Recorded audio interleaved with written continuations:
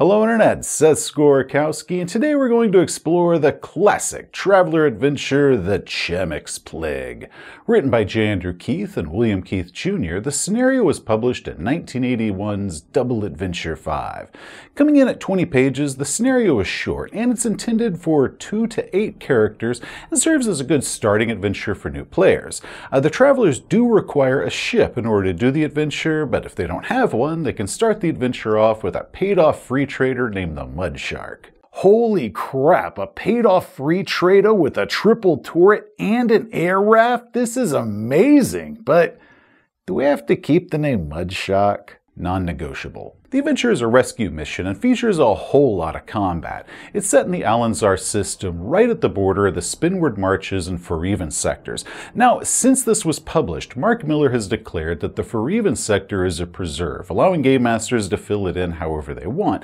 So this is one of the only canonical systems there, and I believe that's the reason the adventure hasn't been updated to Mongoose 2nd edition, because the Foreven sector is now off limits to do anything in. Now for my game, I moved this to being in an unpopulated planet out in the Reft sector that the Deep Night Exploration Corporation was surveying. So what we're going to do is talk about that, how I updated it to Mongoose 2nd Edition Traveller, as well as some various tips and suggestions as a game master who has successfully run this adventure. And I'm Jack the NPC. I'm here to give it to you from a player's side of things as I get to go on another bug hunt. But before we go any further, I must warn you that there will be spoilers. So any players in the audience, please stop here. Send your referee this way to see about running the Chamax Plague for you.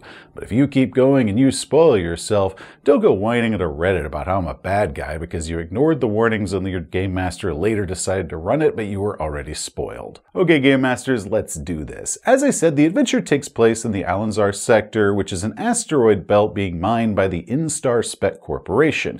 There is a single planet in the system, an uninhabited Earth-like planet named Chamax, which I'm always going to flub because I like to call it Charmax for some reason, even though there's no R, but I started started calling it Charmax before I realized it was called Chamax, and now I just say it wrong all the time. Now, no one's really paid attention to this world. It's mostly frozen and has no land-based life. However, there have been some ruins that have been discovered in the equatorial zone, so Instar Spec has sent a team of scientists there to see if they could find anything of interest and anything of value. So the adventure opens up as the travelers have completed a delivery to the Alanzar station, but are now leaving with an empty hold as there was nothing for them to pick up there. Uh, then they receive an urgent message that a pinnace is flying from Charmex at high speed, but it's unpowered and not replying to any communications, and unless it changes course, it's going to fall into the sun.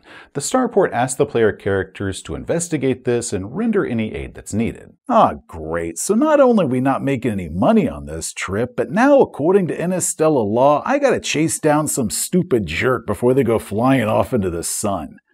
Maybe I can score some good salvage out of this. It takes two days for the mud shark to catch up with the pinnace, and it's already getting dangerously close to the sun by this point. The player characters can see that its retractable wings for atmospheric flying are still extended, and there's several holes that have been burned into the hull, exposing portions of the ship to vacuum.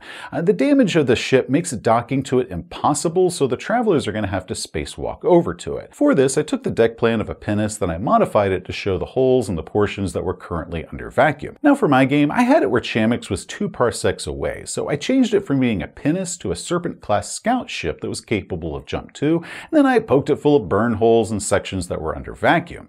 Inside they'll discover the log tapes as well as a single passenger hiding behind a wall panel. Now the survivor screams something about Chamax before passing out. There really isn't much time to check anything else out on the ship before the travelers need to escape before it goes plunging into the sun. Ah crap, well, there goes our salvage guys. The adventure says that this whole portion is optional, saying that game masters might begin the adventure after the rescue, and I can see doing that if you're looking for this being just a short 4 to 5 hour single session adventure, but I prefer the idea that the player characters are the ones that perform this rescue instead of just hearing about it later on. After bringing the survivor back to the station, an Instar Spec manager calls the characters and explains that this pinnace was part of a scientific expedition team that had been sent off to Chamax, which included a subsidized merchant ship called the Sharon Challenger that Had 15 crew, so now we've got one of them back, but there's still 14 there.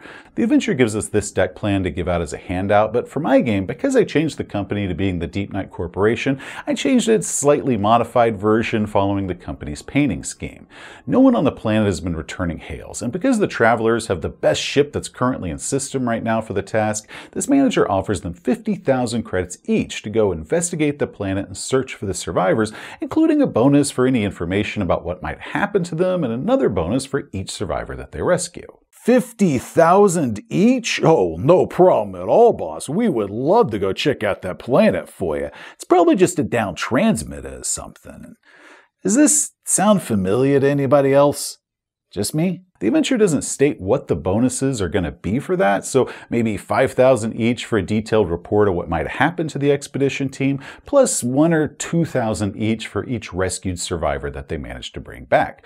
Also, they're going to be sending three NPCs to accompany the travelers, serving as specialists and to safeguard the company's interests. Ah, great. So now they're going to be sending a company stooge to go along with us, and I am positive I have seen this in a movie somewhere. Now, the history of this planet, what happened to its inhabitants long ago, that's all covered in the accompanying adventure Horde, which is in the same book. So I recommend that Game Masters check that adventure out since they're going ahead and picking a book anyway. But for the purpose of this adventure, the scientists ventured down into one of the underground ruins and awoke this dormant species that wiped out the planet's old inhabitants somewhere between 4 and 800 years before. Now, these things, which are called Chamax, are meter-sized long spider things that secrete acid.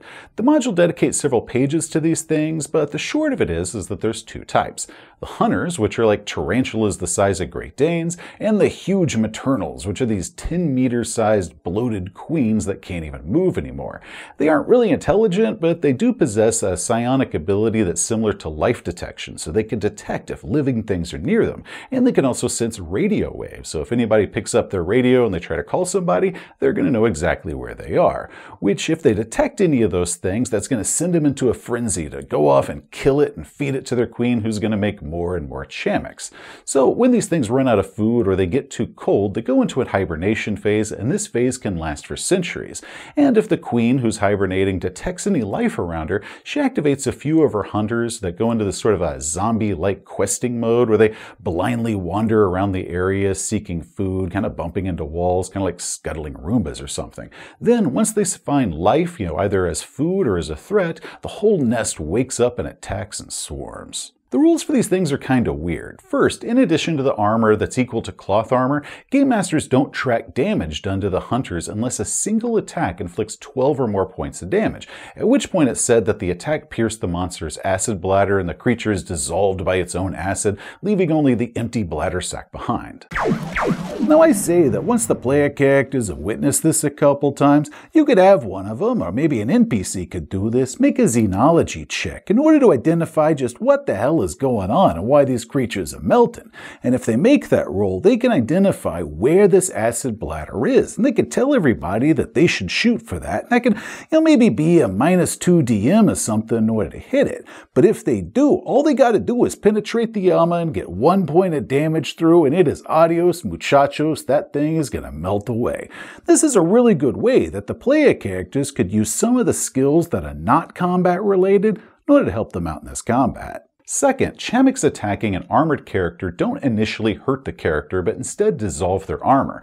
Converting this over to Mongoose Traveller, I decided that for every 5 points of acid damage, permanently reduced a suit of armor's protection value by 1 point. Not a perfect conversion from the original, but close enough. So while Mongoose hasn't updated this adventure to the current edition, they did include a single Chamax hunter in the Pirates of Drinax campaign, and its stats are very different, electing to go for a conventional hit points points and the acid doesn't reduce armor, so I find this pretty mundane by comparison of how these things originally were. However, there's also Referee Briefing 6, which I stuck a link to below, and it provides a much longer, several page detailed description of these things, and it's far more accurate to the original version, uh, though it's now updated for Mongoose 2nd edition, though they still don't dissolve armor with their acid. My only complaint with them is that the illustrations make them look kinda cute versus the enormous spider, scorpion, lamprey, eel looking horrors as they're originally depicted.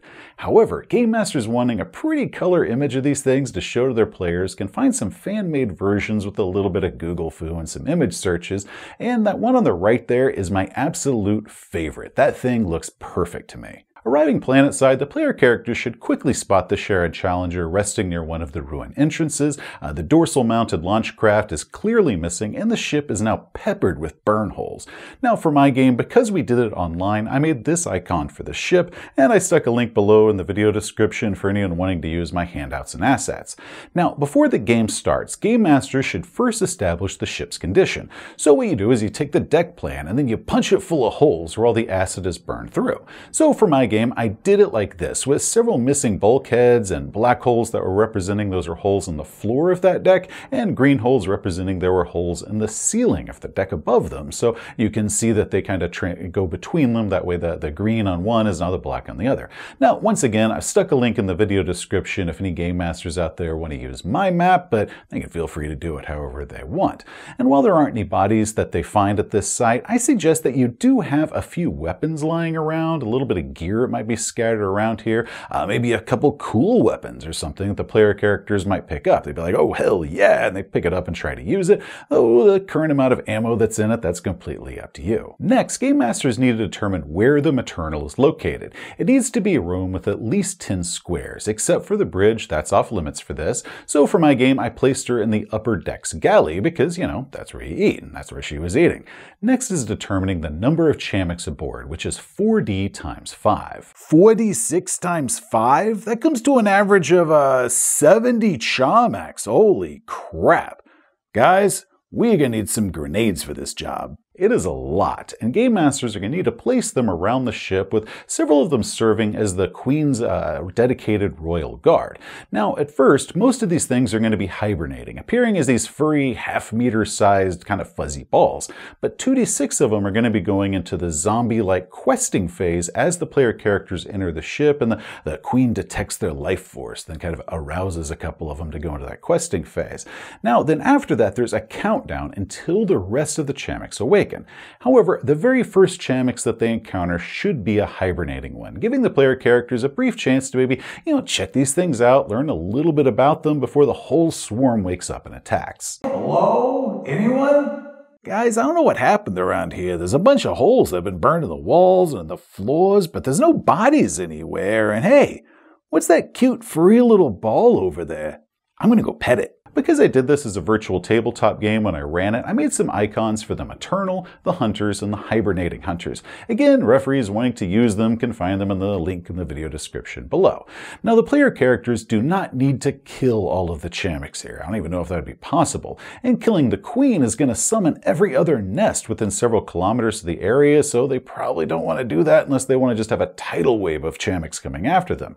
Now, in the ship's bridge, they can find the records of what happened just prior prior to when this attack started, as well as a note that a team of five scientists took the ship's launch out to a distant site a few hours before the attack occurred. One of those five scientists is the fiancé of one of the NPC companions that was sent down with the player characters, but for my game, I had it where it was a, a character that was one of the player characters' allies from when they rolled up their characters during character creation, making this a little bit more personal for the player characters. Holy crap, guys. According to this log right here, there were five people that left this site before the attack happened, they might still be alive. And get this, one of them just happens to be my old friend Gladys from back in the day.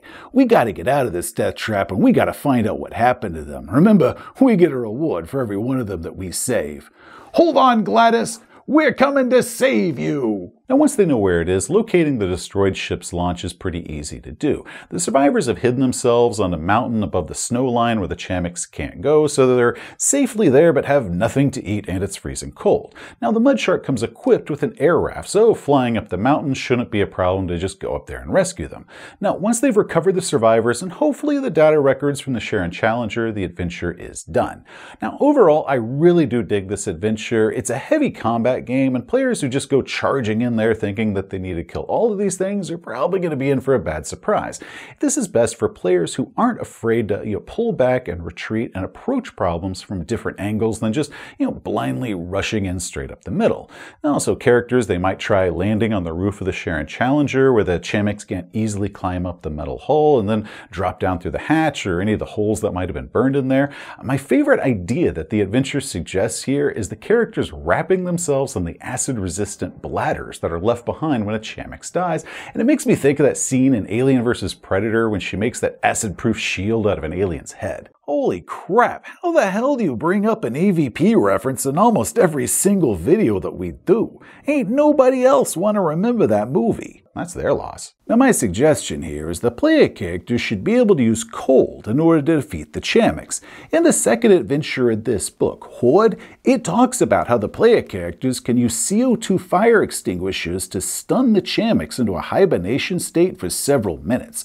So you could have it when they're battling aboard this spaceship, you know, a missed shot maybe hits a fire extinguisher that's on the wall and punctures it. The CO2 goes blasting everywhere and it freezes a couple of the Chamax right where they are. And the player characters, they'll see that, they'll go, oh my god, we gotta use cold against these things. So now they're running all over the ship, trying to find all the fire extinguishers they can. You know, you got the engine room, the airlocks, the laboratories, the bridge, a lot of places on a spaceship for a fire extinguisher. And they can use those things against the Chamax to buy themselves just a little bit more time not to get eaten. That's not a bad idea at all. You like that? Then get this. What if the player characters were to use some of that Chamax acid in order to burn through a bulkhead and puncture the fuel tanks, and then flood the ship with thousands of gallons of liquid hydrogen, right? Freeze those things solid. And the player characters, they just gotta go back through the ship with freaking hammers and smash it all the Chamax as they go. It is a beautiful idea. You realize how explosively flammable liquid hydrogen is? I mean, the player characters, they shoot a laser or something that causes a spark and set that thing off, and everyone dies in a ball of fire. Yeah, but it take out the bugs with them, so it's not a total loss. It's like nuking the site from orbit. It's the only way to be sure. I was wondering how long it would take you before you made a direct Aliens reference. Yeah, that can't be helped. This entire adventure is one big Aliens reference. Yeah, it's not that similar. Oh, really? Well, let me count the ways for you then.